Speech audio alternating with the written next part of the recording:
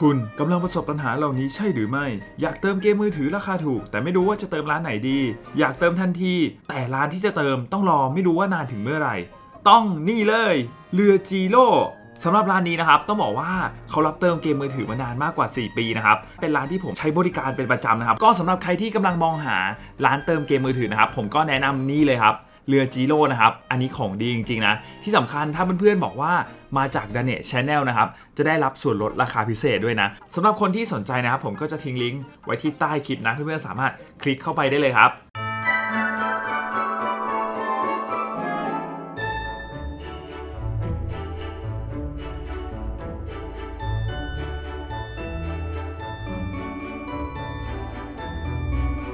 อ้อยสื่อสวัสดีครับเพื่อนๆ ยินดีต้อนรับเข้าสู่ The Net Channel สำหรับวันนี้เราก็มาอยู่กับเกม 7 บาปกันอย่างเช่นเคยนะครับ ก็สำหรับคลิป PVP ในวันนี้นะครับ แน่นอนว่าเราคงอยู่กับ PVP ในโหมดสามัญนะครับสำหรับตัวละครที่ผมจะใช้ในคลิปนี้นะครับ ผมก็ได้มีบอกเพื่อนๆไปแล้วนะว่า วันนี้เนี่ยผมจะมาใช้ตัวละครนานาชิครับ ก็สำหรับตัวละครนานาชินะครับ ก่อนอื่นเลยเดี๋ยวเราไปดูสกิลแล้วก็ความสามารถของเขากันก่อนดีกว่า ว่าทำอะไรได้บ้างนะครับ นักดาบต่างแดนนานาชินะครับ สำหรับสกิลแรกของนานาชินะครับ พังพรถลาลงครับ ท่านี้นานาชิจะโจมตีศัตรูหนึ่งเป้าหมายนะครับ โดยที่ rank 2กับ rank 3เนี่ยจะมีความสามารถในการลดเกรดท่าไม้ตายของเป้าหมายนะครับ1และ 2 จุดตามลำดับนะครับ นอกจากนี้ยังลบล้างสกิล2 อันด้วยนะ ซึ่งความสามารถลบล้างสกิลก็คือ สกิลที่อยู่บนมือของศัตรูนะครับจะถูกสุ่มลบออกไปเลยนะครับ ซึ่งมีโอกาสลบสกิลขั้น 2 ขั้น 3 พวกนี้ได้ด้วยนะ แต่ว่าไม่สามารถลบสกิลท่าไม้ตายได้นะครับสกิลต่อมานะครับดาบฟ้าคำรามครับท่านี้นานาชิจะโจมตีศัตรูเป็นหมู่นะครับซึ่งมีเอฟเฟกต์ดิ้นรนอยู่ครับความสามารถดิ้นรนก็คือจะสามารถฟื้นฟูพลังชีวิตที่ลดลง 15%เมื่อเกิด critical ได้นะครับสำหรับท่านี้ต้องบอกว่ามันได้รับการ buff มาใน patch ล่าสุดด้วยนะครับ ก็ damage ที่การ์ด rank 3นะครับจะอยู่ที่ 325%เลย ส่วน ultimate นะครับดาบใบไม้ร่วงครับนานาชิจะสร้าง damage อย่างรุนแรงนะครับให้กับศัตรู1 รายนะครับซึ่ง damage ที่สร้างได้เนี่ยจะเพิ่ม 30%ต่อ1เอฟเฟกต์ buff ที่ตัวเองมีอยู่นะครับ และสุดท้ายครับ เอกลักษณ์ครับสำหรับตัวละครนานาชินะครับท่าที่เด่นที่สุดเนี่ยก็คือเอกลักษณ์ของเขานะ เพราะทุกครั้งที่เริ่ม turn นะครับ นานาชิจะสามารถเพิ่มพลังชีวิตสูงสุด ต้านทาน critical และป้องกัน critical ให้กับอัศวินพวกพ้องทุกคนนะครับ ที่มีการ์ดสกิลน้อยกว่า 2 ใบ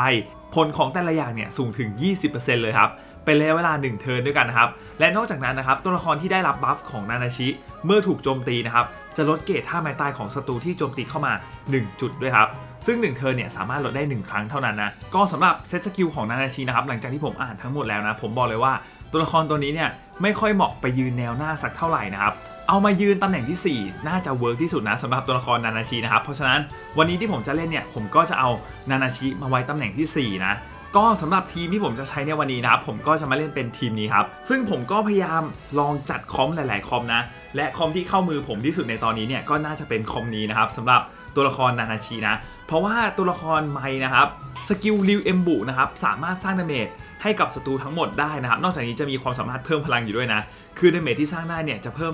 30%ต่อ1เอฟเฟกต์ buff ที่ตัวเองมีอยู่นะครับ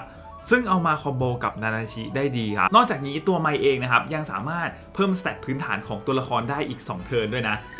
และเท่านั้นยังไม่พอครับ อีกหนึ่งตัวที่ผมใช้นะครับ ก็จะเป็นโดฟาครับ เพราะบัญญัติของโดฟานะครับ เมื่อได้รับ damageจากการใช้สกิลใน PVP นะครับ จะได้รับ buff เพิ่มอัตราทนทาน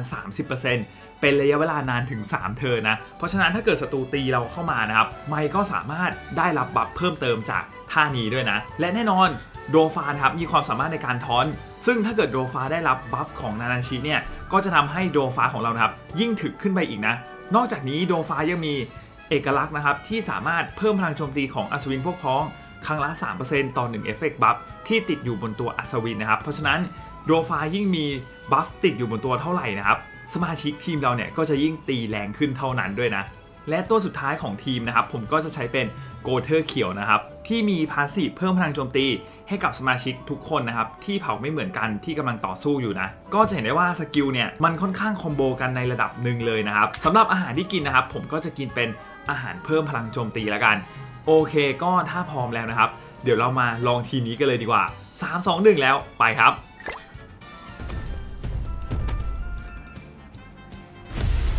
โอเคโอเคครับ เราเจอทีมป่าในวันนะ แต่เราได้เริ่มก่อนครับ มา ก็เดี๋ยวผมรวมโดรนะครับ แล้วก็บัฟไม่ไวนะครับ อีกอันนึงเนี่ยผมเอาไงดีผมตั้งทอนไว้ก่อนแล้วกันครับ มาเฮวีเมทัล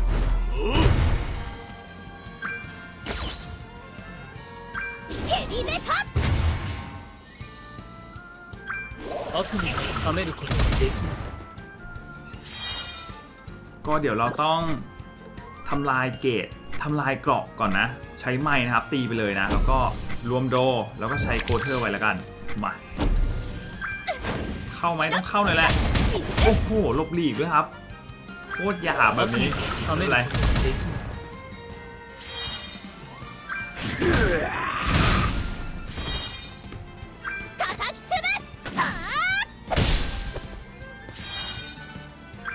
雨るไม่ถูกนครับ ก็เดี๋ยวผมบัฟไม้ไว้ก่อนนะครับ นี่ แล้วก็ใช้ดวไปเลยหนึ่งใบ ตามด้วยไม้อีกหนึ่งทีครับ มา ลองเตะชิมหน่อยครับ ว่าได้เดเบทเท่าไหร่นะ บัฟเราอย่างเยอะครับตอนนี้ลิวเอมโบโอเคครับโคตรแรงนะเดี๋ยว เมื่อกี้เขาเกือบบินหมดเลยนะครับดาเมจขาดไปนิดนึงนะ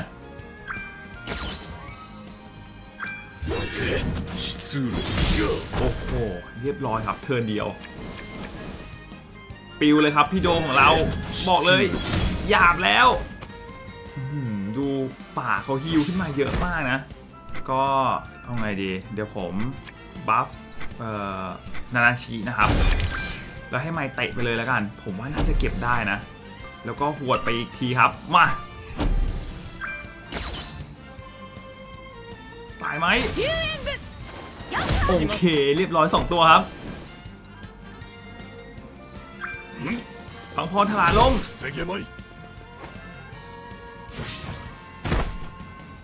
โอเค ตัวสุดท้ายเขาเป็นเดทเพียนะครับ ไม่ค่อยน่ากลัวเท่าไหร่อันนี้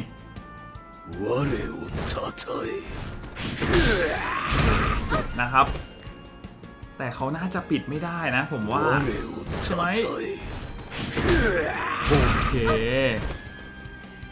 บอกเลยครับแบบนี้สวยนะ ได้รับบัฟของนานาชิมาครับ แล้วเราก็บัฟไม่นะครับเตะไปเลยครับ มาตายแน่นอนนะป๋า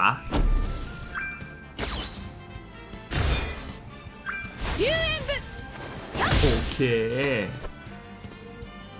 แล้วก็ ซุยโจมโนไม่เรียบร้อย โอเคครับศัตรูยอมแพ้นะโอเคครับมาโอ้โหเจอทีมค่อนข้างเต็มอยู่เหมือนกันนะป่ากับซาดิเอลครับก็หัวนี้เอาจริงโดนี่แพ้ทางซาดิเอลมากๆเลยนะ เดี๋ยวผมบัฟใหม่ไว้ก่อนแล้วกันครับ แล้วก็ใช้โดนะครับ กับโกเทอร์ครับ มา ขอให้การไม่อย่าขึ้นมือนะ ตาหน้าเดี๋ยวเราจะได้ตีแล้วครับ การไม่อย่ามา โอ้โห มาทำไมเนี่ยโอเคครับ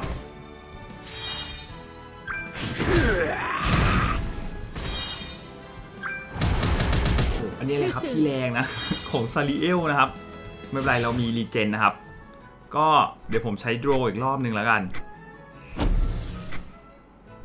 แล้วก็ต้องใช้ไม้ด้วยครับ เดี๋ยวผมตี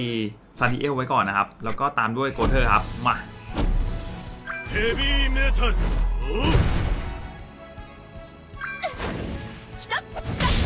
โอเค โอ้โห แรงอยู่ครับห้าหมื่นหนึ่ง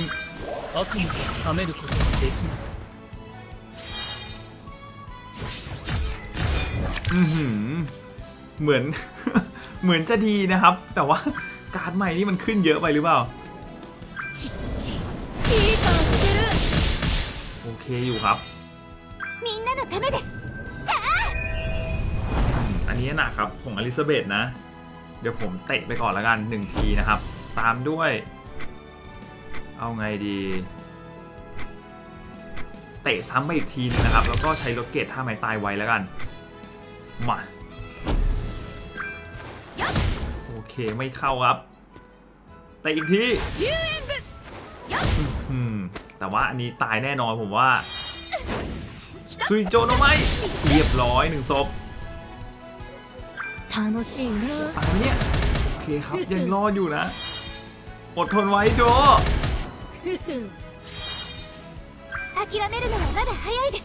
โอเค สวยครับ ผมว่าเผลอๆน่าจะเก็บได้หมดเลยหรือเปล่า นี่นะ ลองดูครับ ไม่สามใบ ลุย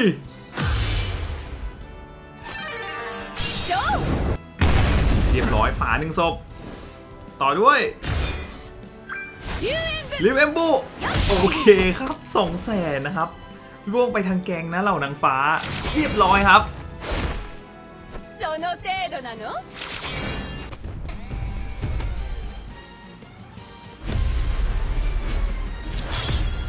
โอเคครับมาก็เราเจอทีมป่าเดวันนะ ก็เดี๋ยวผมรวมโดนะครับ แล้วก็ใช้ไปเลยกับตามด้วยโกเทอร์เขียวครับเฮวี่เมทัลเฮวี่เมทัลโอเค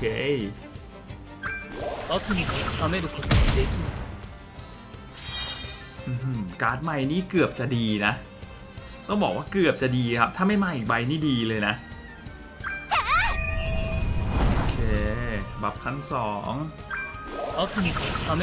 โอ้สวยครับแบบนี้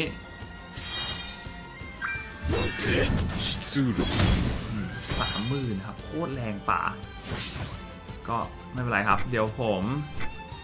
น่าจะต้อง buff ไม้ทิ้งไว้นะ แล้วก็เดี๋ยวลดเกียร์ป่าไว้หน่อยแล้วกัน ส่วนอีกใบนึงเนี่ย ผมรวมการ์ดโดไว้ครับ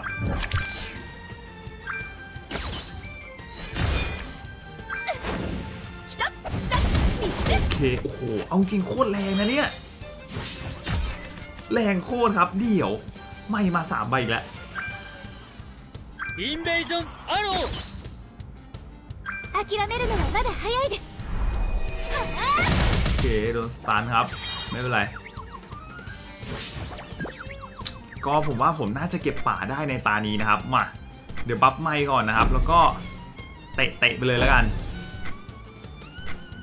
ดีไหม ดีครับ ลุย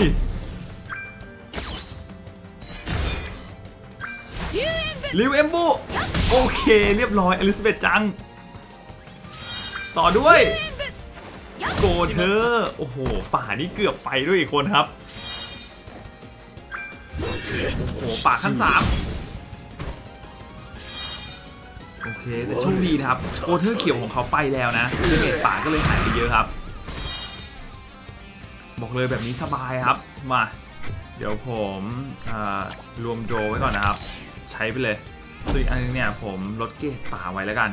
มาเพิ่มป่าน่าจะตายได้ด้วยครับเออดูบัฟครับอย่างเยอะนะ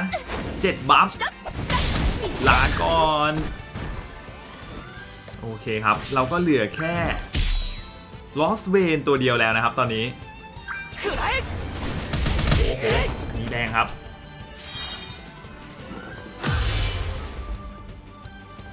ภูผาถล่มโอเคเรียบร้อย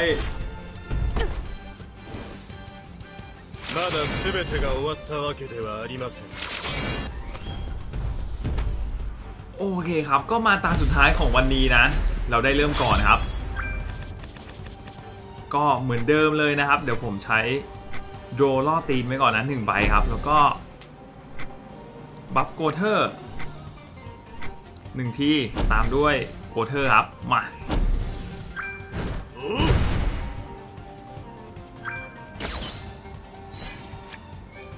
เยอะเอาทิ้งทำให้ดูคนเด็กเอาจริงการ์ดแช่เรานี่เยอะมากนะตอนนี้ เยอะเอาทิ้งทำให้ดูคนเด็กโอเคครับ สวยครับ เออ เราต้องการบัฟอยู่แล้วนะ ตีมาให้โดนของใหม่ของเรา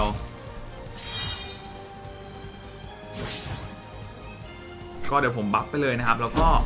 เตะๆไปเลยดีกว่า มา ผมว่าแรงแน่นอนอินเวชั่อาโดูริวเอ็มบุสองทีครับโอเคครึ่งรอดโดนไอีกรอบ เรียบร้อยครับอลิซาเบธจังเกิดใหม่เลยนะ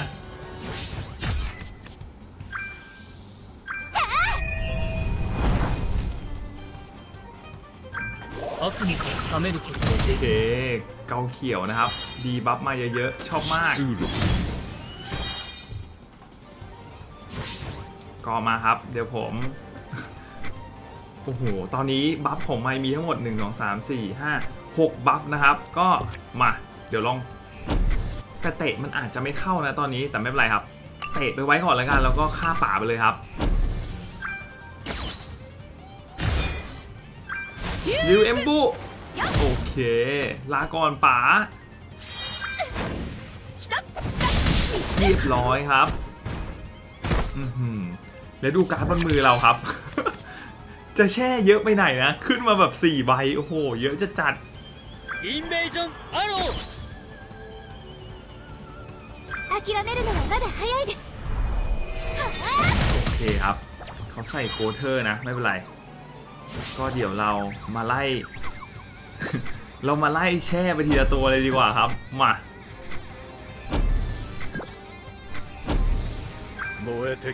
เออมุ่งสังหารครับ ไม่เข้าใจมุ่งสังหารแล้วทำไมต้องแช่ด้วยนะโอ้โหเดเมจก็ไม่ใช่เบาๆนะครับ แรงอยู่นะครับตอนนี้ โอเค ล็อกทั้งมือเรียบร้อยครับ มาก็ตาหน้าน่าจะปิดเกมได้แล้วนะผมว่าน้องไม้ของเรามา2ใบพอดีด้วยครับโอเคมาครับ ผมว่าตายอะน่าจะตายนะ ต้องตายแหละเรียบร้อย